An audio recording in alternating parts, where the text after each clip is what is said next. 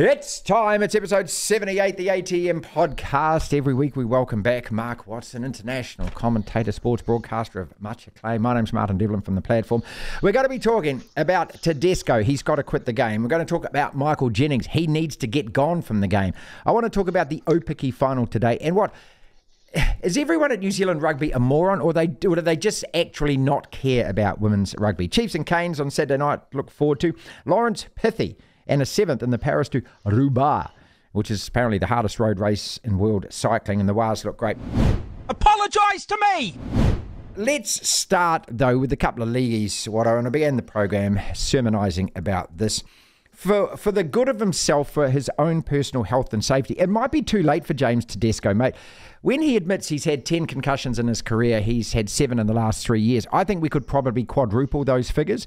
And now to now to suggest that he thinks it's not going to prohibit the rest of his NRL playing, I just can't even. I mean, I, am flabbergasted by that. How can how can somebody around him not get to him and say, "Dude, enough's enough"? Oh, look, you, have got a duty of care, haven't you? Um, you know, let's not use the word concussion. Let's use the word brain injury. He's had ten brain injuries in his career. He's 31 years of age. Um, there is a lot of living still to be done you imagine your child or your teenage son or your son or daughter goes out and picks up one concussion, two concussions in a sports game over a, a short period of time, whether it be you know playing club rugby or whatever it might be.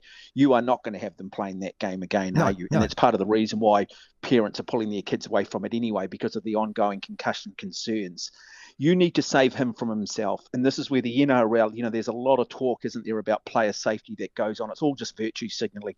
You know, you stand up and you go, no, your career is done look, we'll offer you a job in league. We'll make sure there's a coaching situation. We'll try and transition you out so it's not too big a step up so that you can deal with suddenly not having the adulation and all of those other wonderful little addictions that probably go with the game, the adrenaline rushes. But take take the example of Steve Thompson, you know, who was a member of that England winning World Cup squad. Now he's got the early onset of dementia. He can't even remember the World Cup final no, of 2003 that they story, won. Mm. And now he's starting to realize and he's always come out himself and said it just it's not worth it. It's not worth it. Look at the situation I'm in. You know, I'm not going to get to enjoy my kids. I'm not going to get to enjoy the rest of my life because, you know, there was probably a little bit more ignorance around concussion at the time for being this combative and playing in this combative sport. And, and, you know, you've heard me say it every week, Martin, your belief system in your 50s is very different to your belief system in your 30s and in your 20s. And it's all this macho-ness now, but there's a lot of life to still be lived. He's had a very, very good career. He's played state of origin, he's represented Australia, he's played at the highest level across multiple clubs. Enough is enough, but the NRL actually need to step up and do this. They need to make a statement. They need to say, no, duty of care. We cannot employ you anymore due to health issues, due to ongoing uh, risk issues. We're going to see the lawsuits pile up. I've got no sympathy for the NRL. Same. None whatsoever. Same, none whatsoever, mate. Um, no. But I've even seen it in the past. You know, I remember years ago, I think it was might have been Shaun Johnson's previous stint with the Warriors, where, you know, he was absolutely smashed to pieces. And a week later, he's playing again. I mean, you wouldn't put your kid back out on the field a week later. You wouldn't put your kid out for the rest of the year. So why is it okay to put someone else's kid out there? Why is it these players have the ability to go and convince um, doctors and convince the administrators that, hey, I'm good to go. And these coaches go, yeah, we can't really afford to lose him. He's such a marquee player. She'll be right. She'll be right, mate. He'll be okay. He's telling us he's okay. I, I mean, and where are the doctors in all of this? Don't they sign these oaths and um, you know, best practice, and it's, it's you know a lot of stuff these days is about preventative, isn't it? We don't do any prevention. We talk about prevention, but we don't actually action it. You know, they're par- still parking the ambulance at the bottom of the cliff. I, I just think it's appalling. It's not a it's not a great look for rugby league, Martin. Neither is Michael Jennings, and at least Abdo, Andrew Abdo, the CEO of the NRL, he said we're not going to officially celebrate his 300th game this weekend. I think that that should be where the full stop at the end of the sentence says, Your career in the NRL is also over, mate. The fact that they re signed this guy, and this comes down to the NRL because they have control of the game and they and every single contract has to go through their desk. Uh, his drug cheat and the fact that he wouldn't actually admit that, that's one thing, okay? You can come back from that. Uh, but the, the spousal abuse and the spousal rape as convicted in a civil court, the amount of money that he's meant to pay his ex wife and he hasn't paid it, all of that kind of stuff. When a judge turns around and says, on the balance of all probability, you raped her at least four times. I mean, even saying those words, mate, I feel physically ill by saying it. And here are his teammates in the weekend saying, oh, no, that's not important. What's more important is his 300th game. The, the NRL, again, a lot of virtue signalling around women in league, all of this, you know, we're protecting this, we support this, we're rainbow this, we're, I mean, just stop it, mate. This is where, you know, to me, the rubber meets the road. You've got a guy here who has been convicted of the most heinous crime there is, okay? Uh, and, and, and, and it's clear, it's in black and white. Uh, it's it's come out of a court, and yet you're looking the other way and pretending it hasn't happened while he still plays. I think it's an insult that he still laces boots up. Yeah, but they'll still have a women's of rugby league round, yeah, they won't will. they? They um, will. That's, that, that, that is the complete hypocrisy of this argument. Yeah, and look, I mean, you've had the Jarryd Haynes situation where one of the great players now in jail for, you know, um, serious sexual assault. Yeah, you've got these situations, and they come out and they tell you the family game, and they go and get these sponsors saying, "You come and jump on board because we've got the set of values, and there's a lovely synergy between your brand and our brand," not realizing that actually all of that comes into major disrepute, put the whole organisation at risk because of one player.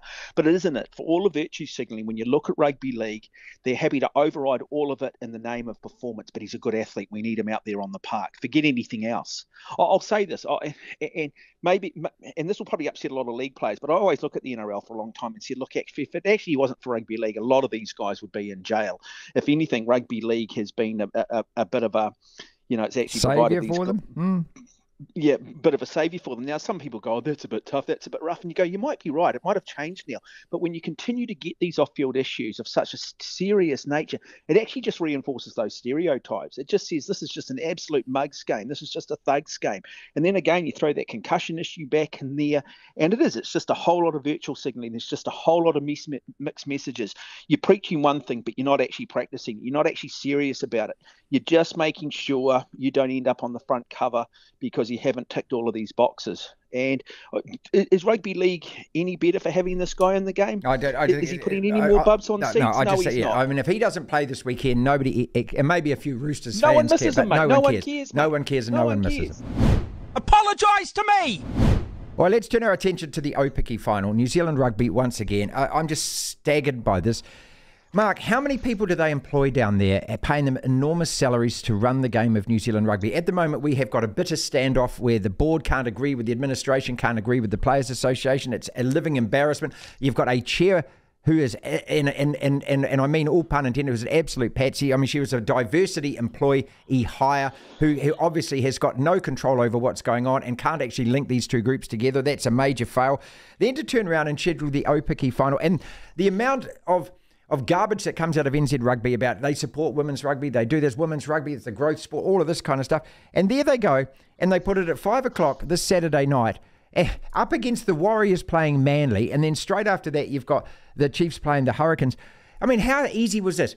Sunday afternoon, two or three o'clock, make it absolutely free for everyone to come along. Put it at a, at a, community ground like either on the North Shore or at Pukekohe or somebody like that, and encourage families to come along. Put a bouncy castle in there for the kids and make it a day out. How simple was it to do that? And yet they schedule it at Eden Park where there's going to be no spectators at the same time the Warriors are playing. Are they thick or don't they care?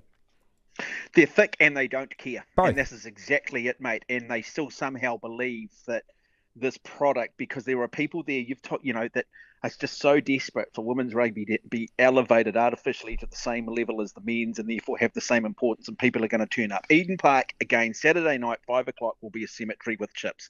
I mean, to be honest, mate, they could put the Super uh, Rugby Aupiki final anytime. Still no one's watching it, mate. That, that's the harsh reality. No one's still really going to watch But you've got to give it a chance, a, though, don't you? There's probably a better, yeah, there's probably a better chance that more people will watch it on a Sunday afternoon when the Warriors are not playing than up against the Warriors. And, and you're right, you just sit there. I mean, I don't know if people have ever tried to apply for jobs with New Zealand rugby, but you know their criteria and their selection criteria, and you don't meet this, and you haven't done this, and you just sit there from the outside going, mate, I could revolutionise your organisation. This is not rocket science. But again, it's this whole. But I think half the problem now with these organisations, and you mentioned the chairman of the board and all the rest of it, there is just so much gender politics now. There's so much equity and diversity, and that seems to be the priority now when you employ people rather than actually just having the best people put in place. And this whole box ticking exercise, it has actually been put ahead of good commercial decisions now. Totally I've seen it not just at New Zealand Rugby, I see it, you know, at Sky Television as well. You know, you read the bios of these board members, and it's like, you know, I'm a provocateur, I'm an agent of change, I've been in Forbes magazines, and all of this rubbish and crap that they all tell you about how wonderful they are. And you sit there and go, does anyone actually fact check some of these people, these people that have actually come in and you know, on their CVs claim to have done all these things because I tell you what, it doesn't actually marry up with what is actually yeah, happening. And the decisions that they I can't mean, seem why, to get right. Like, this is just ridiculous, not, this I mean, one. The Blues can't even get a decent crowd to Eden Park on a Friday night. Why in the hell do they think they're somehow going to get an audience along to women's Super Rugby final where there are four teams that play in it anyway, and of that, two are crap and two are okay?